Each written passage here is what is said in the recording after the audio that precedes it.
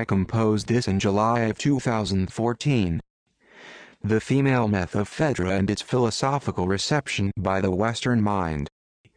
Feminist philosophy can gain much by investigating the portrayal of females in the Greco-Roman mythological tradition. Such investigations produce insights into human nature, and how men and women perceive each other, as well as how society perceives them. An excellent mythic figure for such study is the young Cretan wife of Theseus, the Minotaur slayer. Phaedra was known in antiquity as the daughter of Minos, king of Crete. Crete is the largest and one of the southernmost islands of Greece. Modern scholars know Crete as the hub of the Minoan civilization, one of the greatest early cultures in Europe. Linguists and archaeologists are familiar with Crete as the starting point for the study of Linear A and B. 1, the mysterious language eventually decoded with great aid from Alice Kober. 2.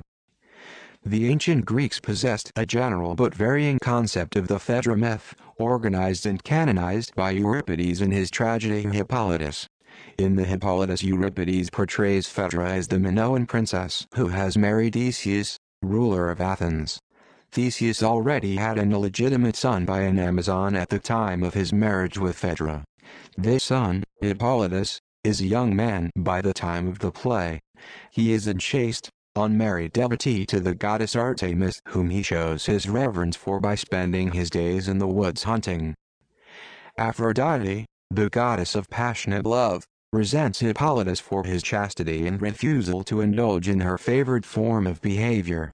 As a result, Aphrodite plots revenge upon Hippolytus by making his stepmother Phaedra fall in love with him. Phaedra, ashamed by her unnatural and unlawful desire, although instigated by a goddess, starves herself in order to keep her body from giving in to her dishonorable lust. After a botched attempt to fix the situation by a handmaid, Hippolytus eventually discovers, to his horror, his stepmother's feelings. After a wrathful reaction by Hippolytus, Phaedra kills herself for fear of her husband's reaction once he finds out the truth of the situation. This play can be interpreted in several ways. On the one hand the character Hippolytus can be read as having blatantly dishonored the goddess Aphrodite. Servant. Then, king, how comes it that for a holy goddess you have not even a word of salutation? Hippolytus. Which goddess? Be careful, or you will find that tongue of yours may make a serious mistake. Servant. This goddess here who stands before your gates, the goddess Cypris. Hippolytus. I worship her but from a long way off, for I am chaste. Lattimore, 241. Clearly, within the ancient Greek mind, a blatant disregard for a god or goddess warrants a just punishment. On the other hand one may point out that right after these lines Hippolytus prays to Aphrodite, and therefore is guiltless because he reveres her and acknowledges her divinity. His prayer is not indicative of one who senses guilt. He does not ask forgiveness of himself, but of his servant. Hippolytus shows that he does not see how he has angered and continues to anger Aphrodite. This leads to how the character of Phaedra is read within this context. She appears quite innocent in this favorable depiction by Euripides. She valiantly struggles against what she feels is an unnatural desire. She not only mortifies her stomach, but even kills herself in order to prevent her thought from reaching fruition. The Greek audience must sympathize with her as they know that a goddess, Aphrodite, is responsible for Phaedra's suffering. We know this iteration of the Phaedra story by Euripides is more favorable to Phaedra than a bawdier rendition that earned much criticism for the Greek playwright when he was a younger artist. Therefore we know that Euripides was very sensitive to his portrayal of Phaedra and his audience's perception of her role in the plot. Stepping back, it appears that the myth of the female character Phaedra was used by Euripides to point out two issues. First, he seems to show a contradiction between lust and chastity. On the one hand Hippolytus devotes himself entirely to chaste living, yet he seems unable to reconcile this virtue with the natural desire for intimate relations. His chaste behavior directly results in his predicament with Aphrodite and Phaedra, and ultimately his own demise. Lust personified seems to protest against Hippolytus' existence. Perhaps here the Phaedra myth is used to show a discrepancy, a disunion, in the Greek psyche between chastity and lust. Possibly, if Hippolytus had ignored chastity and given into normal marital relations then Aphrodite would have never been upset with him and caused Phaedra's unnatural lust. The second issue Euripides points out is the conflict within Greek polytheism. Two goddesses war against each other, and used human beings as a chessboard. Devotion to Artemis causes Hippolytus to be hated by Aphrodite. This is a common theme in ancient Greek mythology, one that is carried into the Roman world. Virgil, the Augustan-era Roman poet harkens to this theme when he writes, Tantaene animis irae?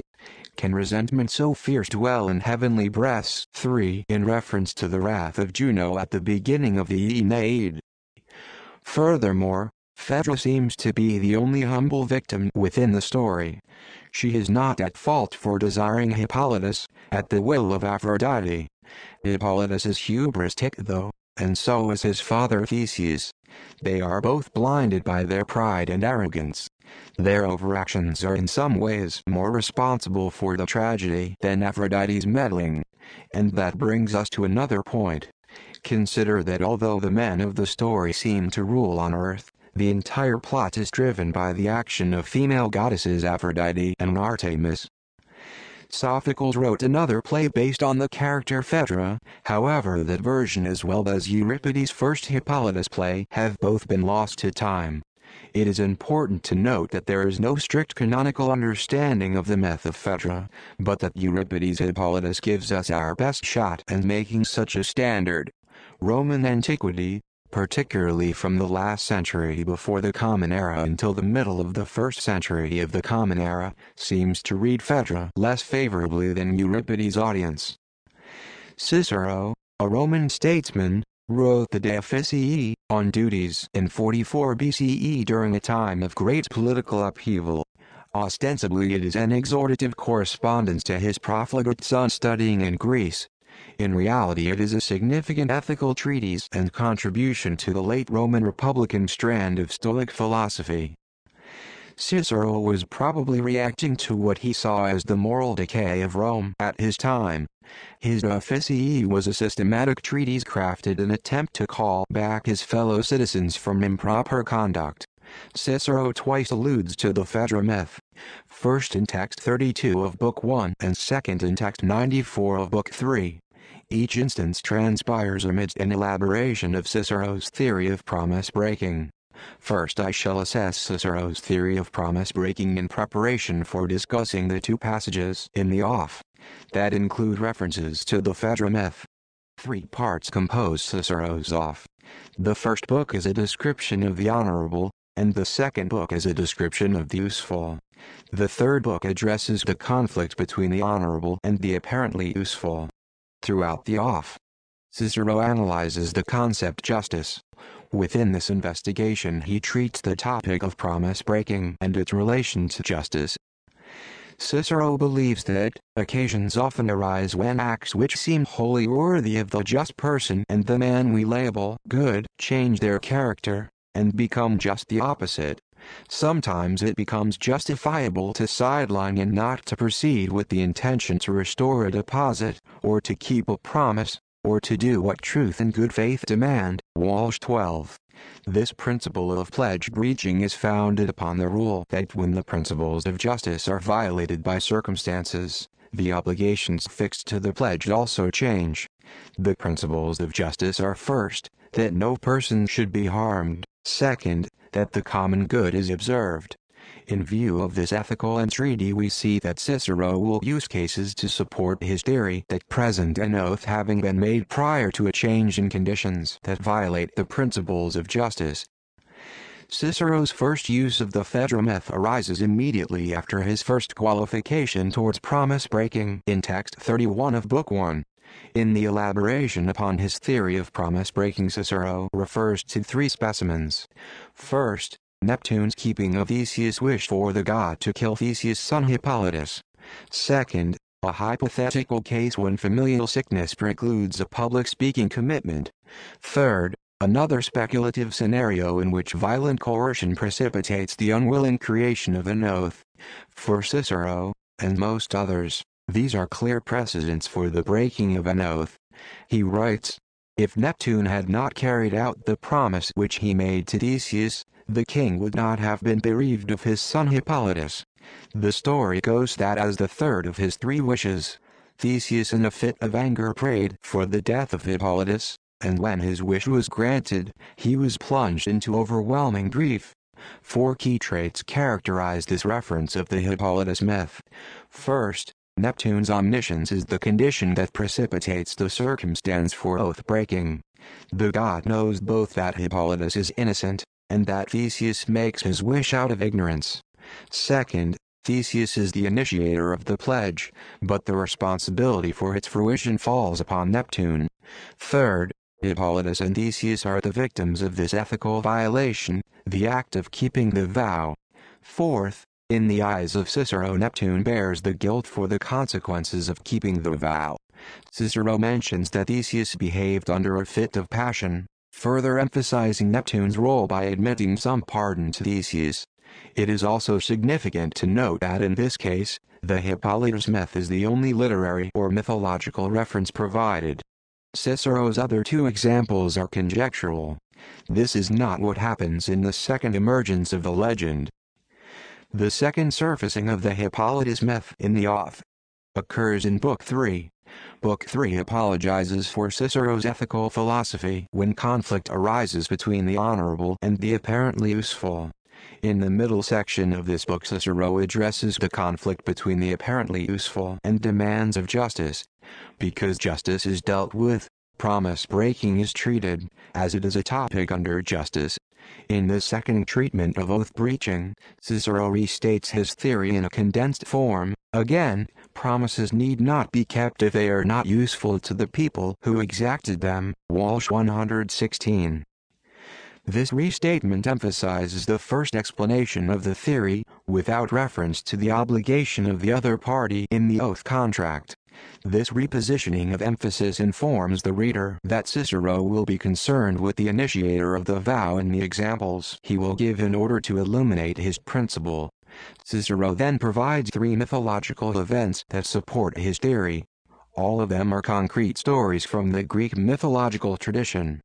First he proffers the story of Phaethon, second the story of Hippolytus, and third the sacrifice of Iphigenia. Cicero writes, or again, take the promise which Theseus exacted from Neptune. Neptune gave three wishes, and he requested the death of his son Hippolytus, for the father suspected goings-on between his son and the stepmother. But when his wish was granted, Theseus was overwhelmed with grief. This second use of the Hippolytus myth by Cicero distinguishes itself from the first with respect to the force attributed to Theseus' role as agent in the tragedy. The mitigating effect of mentioning Theseus' anger does not occur here. Cicero did not harp on Neptune's culpability in carrying out an obligation that does not benefit the exactor of the promise. While the first mention of the myth portrays Neptune as the agent granting wishes to Theseus who seems to accept the opportunity, here Cicero presented a Theseus who actively pulls the wish from Neptune. So what do these examples have to do with Phaedra? And her influence on philosophy? First, Cicero seems to understand the Phaedra myth in a light more sympathetic to Hippolytus and somewhat condemnatory of Theseus. Cicero accepts the premises of the Phaedra situation, and uses it as a didactic tool to illustrate his own ethical theory. He seems little concerned with Phaedra's plight and tragedy. Ovid, writing not long after Cicero, used the Phaedra myth for less philosophical purposes. Reference is made to her in line 498 of Book 15 of his Metamorphoses. You may have heard some mention of Hippolytus, how he met his death through the easy credence of his father and the wiles of his accursed stepmother, Miller, 401. Ovid, more so than Cicero, sketches Phaedra in a culpable manner. Now Hippolytus is the victim of his stepmother's trickery. Ovid presents Hippolytus as helplessly trapped between two tragically flawed parents. Seneca, a later Roman Stoic, wrote several tragedies during his exile from Rome. His corpus mimics Euripides in that many of the Roman poets' plays have a Euripidean parallel. Seneca's Phaedra is yet again, in the same vein as Cicero and Ovid, a less forgiving depiction of the young Minoan princess. The role of Aphrodite's revenge is downplayed, and the culpable willingness of Phaedra's desire is emphasized. The end of the play summarizes this distribution of sentiment by Seneca. Theseus, confronted with the mangled body of his son Hippolytus and the corpse of his wife Phaedra, appropriates his value judgment at the end of the play. Theseus says of his son, You will need multiple burials but of his wife, and as for that woman three quarters bury her, and may the heavy earth crush down her wicked head. Wilson, 38. Although Seneca seems to shift the perceptions of the characters Hippolytus and Phaedra from Euripides' vision, Many scholars have read both characters as equally guilty transgressors of the same behavior. Phaedra succumbed to inordinate sexual desire, and Hippolytus succumbed to inordinate sexual abstinacy. Seneca, acting as a philosopher through the medium of tragedy, expounds upon his ethical theory that the proper use of sexual intimacy is a mean between two extremes, it is not distract to say that Seneca used his tragedies for philosophical ends because he is known after all for his extensive Stoic training. At the end of the Roman period of Phaedra portrayals, we see a transformation in her image. During the Greek period, she was a sympathetically presented victim of Aphrodite's malevolence, and the rashness of the men in her life. In the Roman period she became a slightly less deep and more guilty version of her Greek iteration. Racine, the 17th-century French playwright was the next to pick up the Phaedra myth. This time the goddesses play a more decisive role in the action. Cairncross 23. Venus uses Hippolytus as the instrument for engendering lust within Phaedra, as opposed to earlier versions where the goddess puts the passion directly into the Minoan stepmother. Scholars have noted a unique sense of guilt in the character of Racine's Phaedra that is not present in earlier versions. Racine's Phaedra experiences two pangs of guilt throughout the play. First, in Act IV when Hippolytus confesses his love for Aricia to Theseus.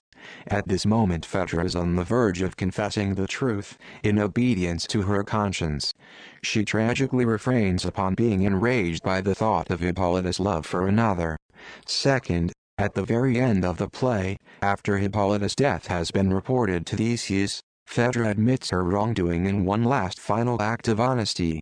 Investigation of his son's memoirs reveals that Racine was experiencing an intense surge of religious sentiment at the time of his writing Pieter, Cross 131.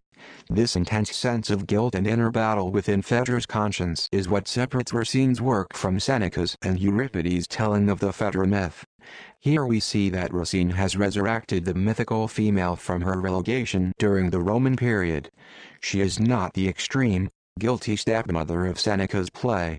Rather, Racine's Phaedra is almost heroic in her battle to overcome her inner desires and obey her conscience against divine meddling. The Phaedra myth has been picked up many times in the past 150 years.